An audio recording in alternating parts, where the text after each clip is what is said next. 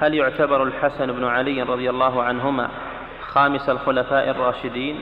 فيكون بذلك أفضل الصحابة بعد الأربعة الخلفاء رضي الله عن الجميع. قيل إن أيامه التي تولى فيها مكملة إنها مكملة لثلاثين سنة التي قال فيها النبي صلى الله عليه وسلم الخلافة بعدي ثلاثون سنة. فقيل إن خلافة الحسن مكملة. للثلاثين سنة نعم.